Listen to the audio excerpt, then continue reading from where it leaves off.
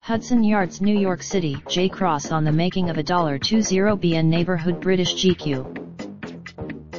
Not just the largest development in New York, the $20 billion, 16 structure project Hudson Yards is the biggest of its kind in America.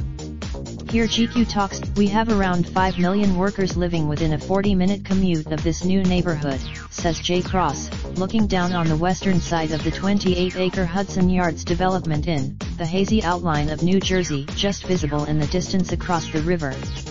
Nowhere else in not just the largest development in New York, this $20 billion, 16 structure project is the biggest of its kind in America.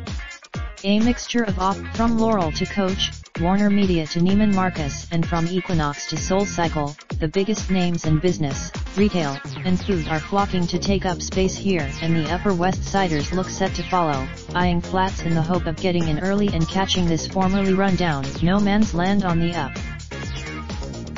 As president of the Hudson Yards scheme for New York-based developer-related companies, Cross is the man who has made it happen. The former president, this came about when he was forced to rethink his office development career in the 90s.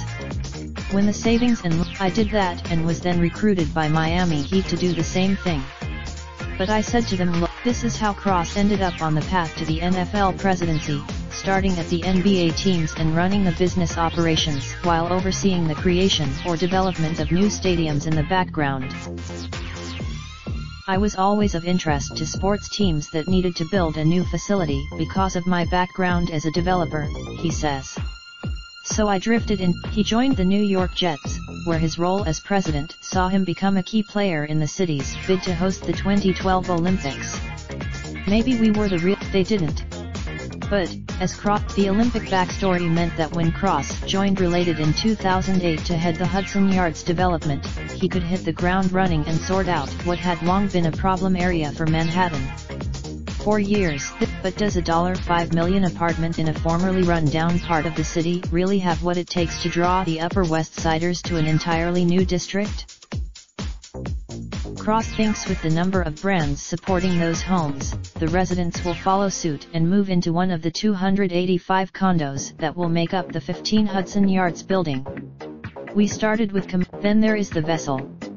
And 150, we are basically one third of the High Line, says Cross. And that gets 8 as has the Hudson Yards project in its entirety.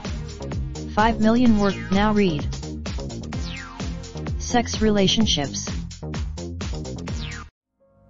Raindrop, drop top, smoking, no cooking the hot pot. Fucking on your bitch, yeah, that, that, that. Looking up, open the park.